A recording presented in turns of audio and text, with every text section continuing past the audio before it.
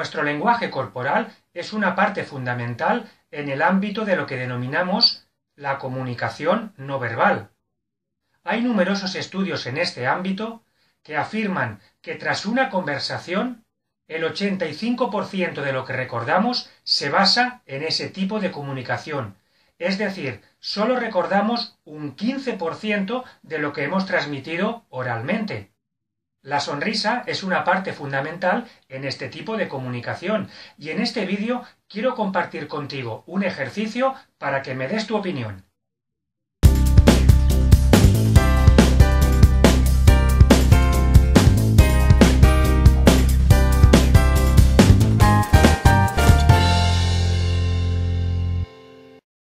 ¿Cuáles de las siguientes sonrisas crees que son auténticas y cuáles son fingidas?